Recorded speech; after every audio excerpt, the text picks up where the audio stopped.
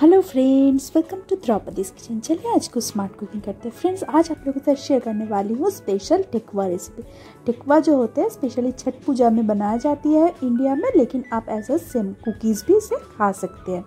तो चलिए शुरू करते हैं। पहले मैं ले रही हूँ मैदा वन फोर्थ कप सूजी या सेमोलिना वन फोर्थ कप अब कुछ मैं ड्राई इंग्रेडिएंट्स यूज़ करूँगी। जैसे मैं कद्दूकस किया हुआ नारियल डेढ़ tablespoon one tablespoon and one teaspoon तो दो डेढ़ टेबल स्पून कुछ किशमिश और काजू फाइनली चॉप्ड और बड़े इलायची के दाने चीनी या शुगर दो टेबल स्पून या वन एट कप घी,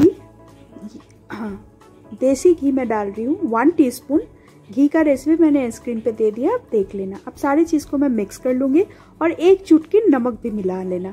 अब मैं गुनगुना गर्म पानी से इस, ये डो प्रिपेयर करूँगी, लेकिन बहुत कम पानी लूँगी डो बनाने के लिए, क्योंकि हमको बहुत टाइट डो चाहिए, बहुत सख्त सख्त डो चाहिए।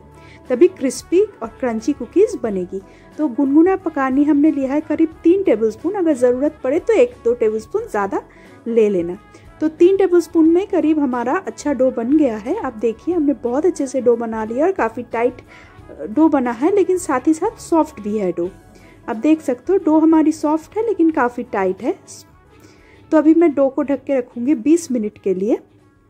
20 मिनट बाद हम देखते हैं, अभी हमारा डो काफ़ी अच्छे से रेडी हो गया है।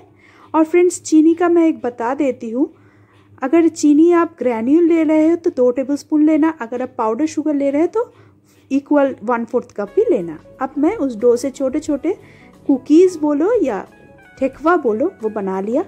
कुछ भी आप मनपसंद शेप दो मुझे ऐसा शेप देना पसंद है तो मैंने ऐसे एक फोक से ऐसा शेप दे दिया आपको जैसा शेप देना पसंद है वैसा दे दो। फ्रेंड्स अगर आपको मेरी वीडियो अच्छी लग रही है तो प्लीज़ लाइक कर दीजिए और पहली बार मेरे चैनल पे आए हैं तो प्लीज़ सब्सक्राइब कर लीजिए ताकि ऐसी इंटरेस्टिंग और न्यू रेसिपी कभी भी मैं अपलोड करूँ सबसे पहले आप तक पहुँच जाए। और इसको हम डीप फ्राई करेंगे फ्रेंड्स आप चाहो तो बेक भी कर सकते हो जैसी आपकी मर्ज़ी हम फ्राई करके दिखाते हैं। तो हम प्योर देसी घी में इसको डीप फ्राई कर रहे हैं। आप इन ठेकते को घी ब्रश करके बेक भी कर सकते हो ओवन में 15 से 20 मिनट के लिए लो हीट में। तो में। तो अभी हम दोनों साइड को फ्राई कर रहे हैं और बहुत धीमी आँच में फ्राई करनी है।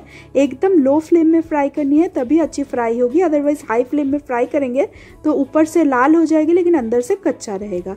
तो बहुत धीरे धीरे ये फ्राई होगी, कम से कम 15-20 मिनट लगता है। धीरे धीरे फ्राई होने में और रेडी है हमारा यम्मी टेस्टी ठेकुआ या सेमोलिना कुकीज़